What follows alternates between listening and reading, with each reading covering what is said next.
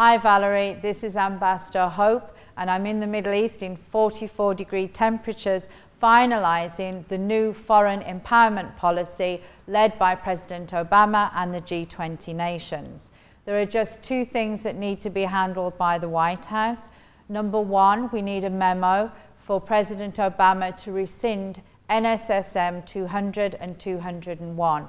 This was signed into law by President Nixon in 1974 and hasn't been rescinded. It's important to rescind it so we can start a new and positive relationship between America and Africa.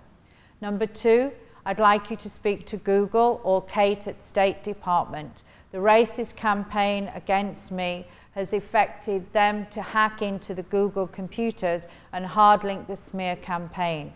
Either Kate at State or Google directly can check their own systems and unlock these backlinks that have been illegally placed there. So please take these two initiatives now and we're ready to say, yes, we can. We can empower 200 million people across the world to be the change that they want to see in the world. Thank you for your support and thank you for your help.